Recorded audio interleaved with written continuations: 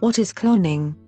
Cloning may be defined as a highly sophisticated technique for the isolation of specific genes or DNA fragments, their integration in suitable vectors and cloning of these vectors in another organism or host, to get multiple copies of the cloned DNA fragment.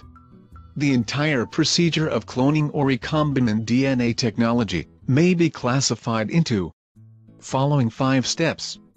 They are, first, identification and isolation of the desired gene or DNA fragment, to be cloned. Second, insertion of the isolated gene, in a suitable vector.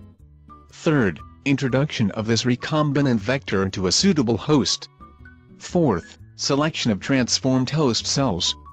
Finally, expression or integration of the introduced gene, in the host. The DNA fragment, to be introduced into the host cell is called insert or desired DNA, or target DNA, or foreign DNA.